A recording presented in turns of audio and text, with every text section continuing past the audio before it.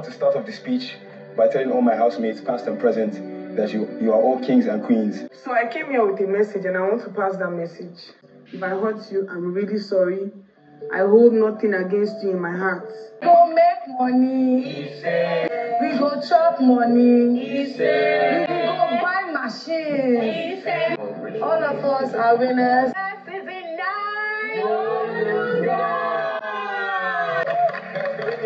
Stop you from winning the Ethermouse title. At all. Onyeka shared her journey of moving from list 4 to the finale. That coming into the house, it all started with Even learning from Big Brother's words. That Big Brother always advised her on how you can have good intentions, but they will still not turn out good for the person you intended to. And learning to have to live alone on her own and allow Chizoba as well leave hers because she has always been that person that cares so much about others, not minding about herself. That she's always willing to take bullet for others, not even minding who will stand there to take for her. That the journey became sweeter when the checkers began to win task, showing their intelligence and the creativity side of them, and people wishing they be in the same group with them.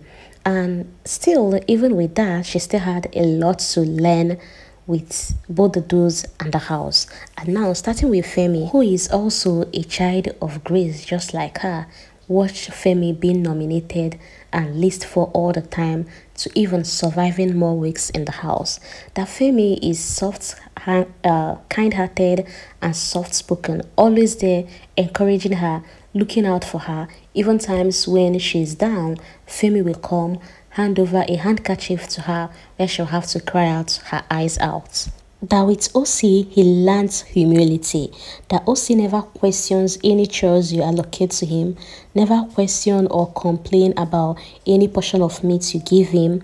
He just acts, you know, for the betterment of the house. And that Ocee was the first person that advised her on how not to allow her past uh, trauma trigger her into reacting a certain way in the present. Onyeka also said that coming into the house, she was scared of showing her body so as it won't make people to concentrate on the body rather than the person carrying the body, rather than her brain, rather than the creative part of her, rather than what she's bringing to the table. Dashon was the first person that told her to go ahead, wear your bikini, feel free, you know, do your thing. You shouldn't be bothered about what other people will think or what people will decide to pick and not to pick. And she said that made her gingered her to wear her first bikini. And from there, it's been operation after operation. And it was still Shaun who advised her not to force her ideas on people. That when she give an idea, she should relax. If people do not take it, good and fine. If eventually they end up, you know, failing, at least they will learn to come back and take advice or take your ideas, but don't force that on anybody's, down anybody's throats. Onyeka also paid tribute to Ndine, uh, Nne of Ndine.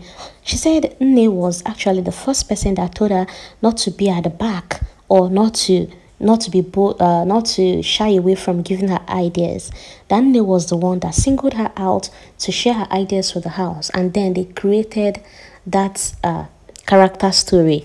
I don't know if you can remember the first uh, when Ndine was head of house, and that story actually brought her to limelight. It made people to look forward to being in a group with her.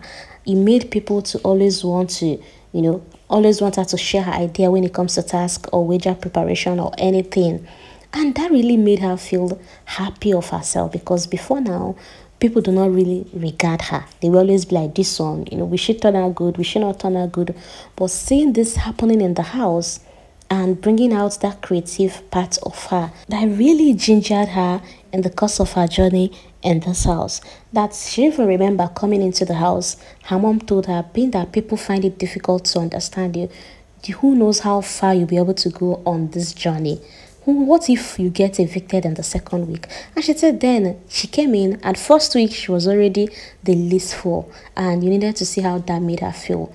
You haven't even stayed long, you haven't even secured transportation levy and here you are list for already that I made her to buckle up anything to leave that list for content, whatever it would take, she struggled to make sure she does not remain there.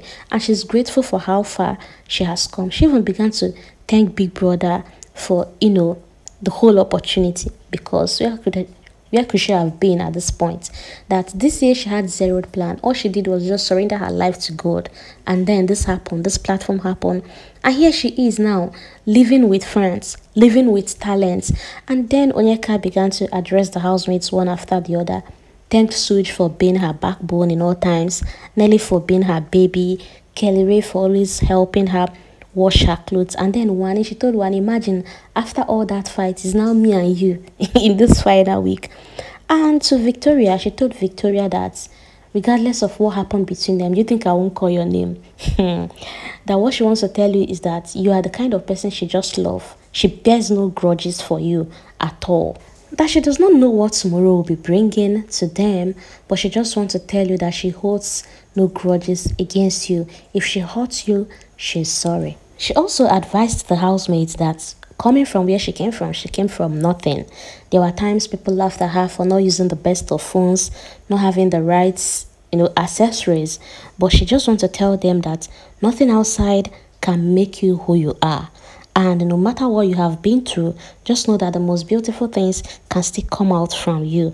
And never be scared to be vulnerable. That should be they did it in this house, did they die? No. Well, for Ozzy, he said haven't come from a bloodline of kings and great men and people having narratives and assumptions about him. He needed a platform where he will need to showcase himself and clear some assumptions about him. And when he came on the show, he knew that this was the right one for him.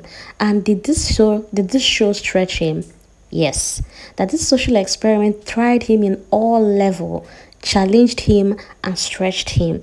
But he's glad though he came with his bestie, that's his brother.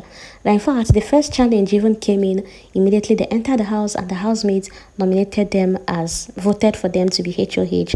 And he was happy because come on, people found you worthy just in few days to lead them.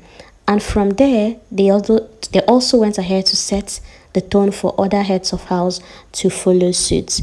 But he's glad for the diary sessions where Big Brother played the role of a big big brother indeed always advising him that all of that played a huge role in his development. And he said that the weekly wagers were his best experience in this house. I gave him the opportunity to shine and even dig deep you know dig deep and discover skills that he never knew existed. And you know big brother comments commending him and always telling him how his participation makes others even want to that that ignited a form of confidence in him. And that whole task preparation and participation also gave birth to the triple o that's ozzy Ocee and onyeka. Ozzy said with this experience he has become a very much better version of himself and he's happy for friendship, brotherhood, sisterhood built on this journey like Chizoba most genuine hearted that he's glad Ocee was able to spot Chizoba right on time. Chizoba played a huge role in making sure him and his brother stay intact and remain friends and brothers. And for every time they happen to share the same group during task, sponsor task or whatever, it's always a pleasure. And then to TJ, intelligent, selfless, that TJ inspired him a lot. And what made him happy was when TJ came to meet him and his brother to become godfathers to his twins. That that made that actually made him happy and even made him feel like oh so someone actually considered them responsible to take such a huge role, you know, play such a huge role in the life of their children. Ozzy also appreciated Ocee, telling him how much he, uh, he admires his wisdom, how he's even the younger one, yet always acts like the older one, always here advising, helping out, and he even admires his journey on trying to get closer to God. Ozzy said he's grateful for this platform and he believes he has been able to fulfill a personal goal which is to change a narrative and now he's signing out as a king. Well, the housemates then came up on stage clapped for a great presentation and Wanni went ahead to say words of affirmation whereby she would say, oh, we'll buy house, we will do great things, you know, good words and they all affirmed to it. After which they proceeded to cut their cake. Remember the cake they baked? and Big Brother even told them to leave that cake for him.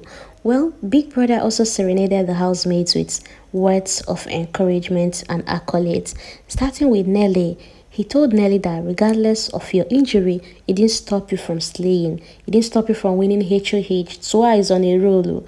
It didn't even stop you, like it didn't reduce your stays at all, that you made it to the finals. And to Wanni, he told Wanni, the unapologetic one, the crying one, lost to your people same day Yet, here you are in the finale, the third Chihuahua puzzle solver. And for Shaun, for Big H, here you are, you did it.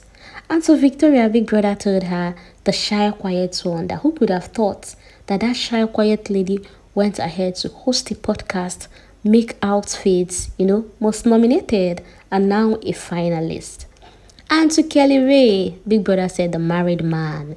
You froze on stage because the lights was too bright for you.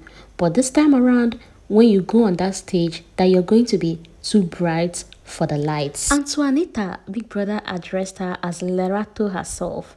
Determination and doggedness, that you are more than just a pretty face. And talking about task, did you say we should forget about the last task? and Biggie then asked the housemates, what task is she talking about? And they said, well, we can't remember, you know, Biggie being Biggie. And to Sooj, he told Big Brother, Sooj told, uh, Big Brother told Sooj, the misunderstood one. Here you are, people considering you as arrogant, but you were fighting an inner battle within yourself. that now you've won this battle, you've even overcame overcome your fears, and here you are speaking boldly. You not even open your mouth when speaking. And so Onyeka, Big Brother told her another crying one that the stories you created in your mind, you know, made it here alive. That you may not have reached your destination, but you are where you're supposed to be right at the finale. And then to Ozzy, Big Brother called Ozzy the diplomatic one. I'm glad Biggie saw that too. Well, Biggie said, you know, first HOH of the house, you brought, he came into the house with so much pressure on yourself. But that pressure has created a diamond in you. And Big Brother now told them that he's super proud of all of them. And they were like, We love you, Biggie. Big Brother then said, The feeling is mutual. And Big Brother now told them, For the sake of old times, you know, he went ahead to play that whenever you're waiting for wager results sound. That was scary sound that gives high blood pressure but then told them that for today no verdict because you all have won in real life. And with that came the final wager presentation of the season final of the finals. Do not forget that there are other videos to watch of what your faves said during their presentation. Thank you for watching thank you for listening and i will see you in my next video enjoy the rest of your day. Good night. And if you watch this very moment, please do well to drop a love emoji in the comment section and do well to serenade your fave with a words of encouragement in the comment section as well. Just act like you're biggie for today and write something for your fave. I'll be reading. Enjoy the rest of your day. Bye. Thinking about making us godfathers to his twins. I'm signing out from the Big Brother show as the biggest O, the wall fire, c'est toi.